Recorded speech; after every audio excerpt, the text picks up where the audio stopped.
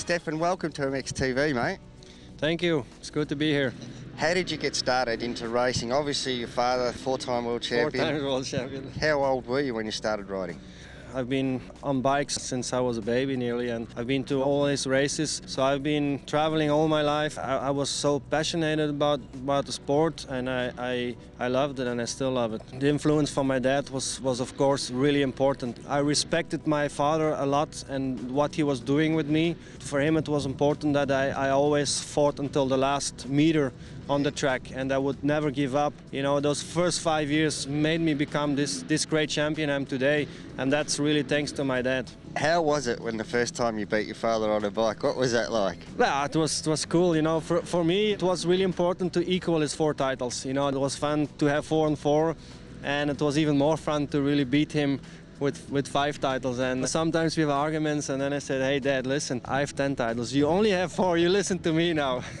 well, of course, you got your son Liam. You have a perfect argument now. Your father will probably want to come into Liam and teach him how to ride. You know, Liam is slowly growing up and we ride together a lot. You know, I have a little pit bike and he needs to have competition all the time. He doesn't like to ride by himself.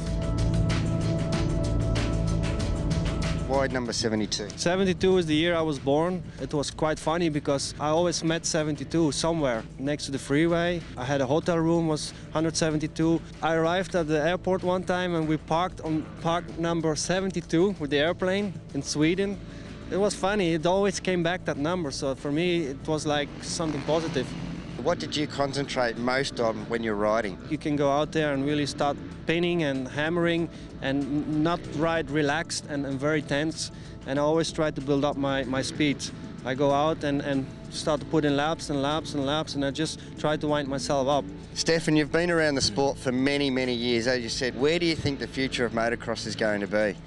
I can't predict the future, but as far as I can see it, you know, it's coming very tough for motocross to survive. I mean, uh, we have all the problems with the tracks, you know, noise, neighbors complaining, and I think it's really important that uh, the manufacturers start to reduce the noise as quick as possible. Do you miss racing at all? And if you do, what do you miss most about it? The first years I missed it more often like now it's it's less and less. I still feel great on the bike when I ride. I still have this great feeling and I still feel that I have that skill like I had before. What I miss most is uh, just to go out on the track and hit the berm exactly the same way and again the same and that's what I always loved. It gave me a great feeling.